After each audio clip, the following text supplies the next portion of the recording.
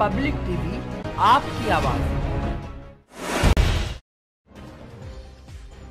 शहर में बढ़ते प्रदूषण को रोकने के उद्देश्य से दिल्ली रोड स्थित तीर्थंका महावीर यूनिवर्सिटी में पौधारोपण का कार्यक्रम किया गया, जिसमें छात्र छात्राओं ने विभिन्न प्रकार के पौधे लगाए, जैसे गुलाब, सदाबहार मोरपंखी गुलाब एलोवेरा, मनी प्लांट आदि वृक्ष लगाकर पर्यावरण शुद्ध करने में अपना सहयोग दिया। साथ ही छात्र छात्राओं ने महानगर के लोगों से अपील की कि अपने आसपास के क्षेत्रों में एक पौधा अवश्य लगाएँ, जिससे वायु प्रदूषण को कम किया जा सके। इस दौरान पौरुष जैन, आयुष जैन, मन्नू चौधरी शहरीज इस्माइल, अनमोल गोयल, अविनाश राजकुमार, साथ ही कॉलेज का समस्त स्टाफ मौजूद रहा।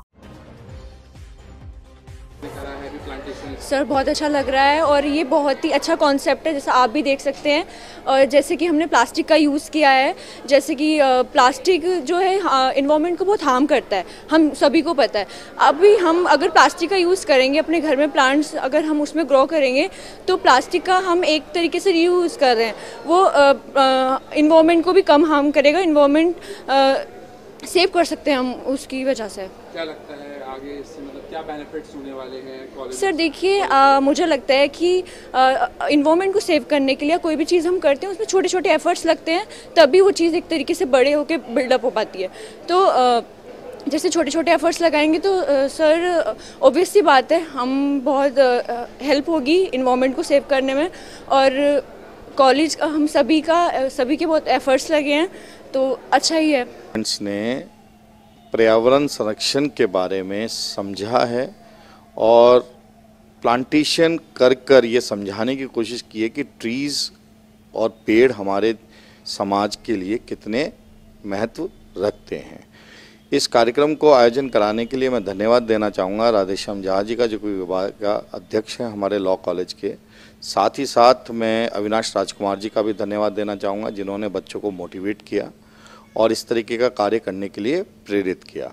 इसमें हमारे first year second year third year के सभी विद्यार्थियों ने मिलकर अपने घर में जो ख़राब बोटल्स होती हैं, उन बोटल्स में प्लांटेशन कर कर कॉलेज के प्रांगण में लगाने का प्रयास किया है, जो कि बड़ा सुंदर दिख रहा है अच्छा लग रहा है और एक तरीके से ये मैसेज दिया है बाकी सारे स्टूडेंट्स को कि किस तरीके से प्लांट्स को प्लांट्स के थ्रू हम आगे किस तरीके से हम प्लांट्स के थ्रू पर्यावरण के संरक्षण कर सकते हैं और ये किस लिए महत्वपूर्ण है? साथ ही साथ बच्चों ने अपने जो जूनियर्स हैं, उनके बीच में ये संदेश भी दिया कि पेड़ लगाना बहुत अति आवश्यक है और ये आगे आने वाले टाइम पे लगातार लगा रहना चाहिए, क्योंकि जिस तरीके से कंक्रीट का जंगल बनता जा रहा है, हमारे को बहुत सारी परेशानियों का सामना करना पड़ रहा है।